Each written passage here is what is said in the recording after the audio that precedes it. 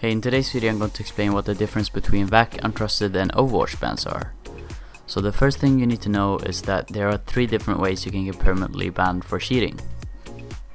These are, as I mentioned before, VAC bans, Untrusted bans, and of course Overwatch bans. The first one I'm going to cover is VAC bans. I think most people are aware of what VAC is, but I'll cover it quick and short anyway. VAC bans will show up on your profile and will look like this. You get VAC bans if the client-sided VAC anti-cheat detects that you're cheating in their game. That means that you can still get VAC banned even if you don't join a VAC secured server. I won't go into detail on how it detects that you're cheating in their game because I don't find it relevant in this video. Just know that VAC bans you get from getting detected by their client-sided VAC anti-cheat.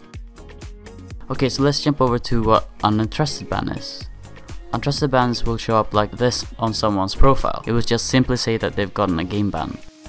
People get untrusted bans by the server-sided anti-cheat. The server-sided anti-cheat can detect different features than the VAC client anti-cheat can do.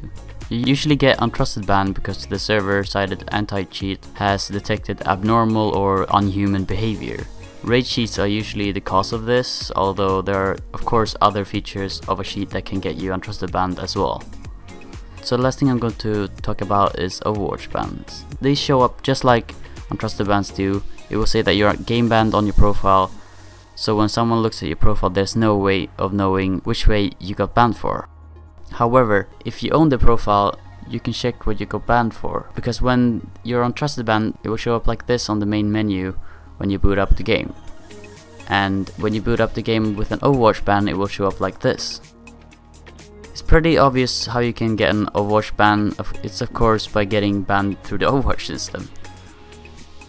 That was pretty much all I wanted to cover in this video, and now you know a little more to go up against those filthy hackers. Feel free to come with ideas on what I should upload next. I hope this video was helpful, and I'll see you in the next video.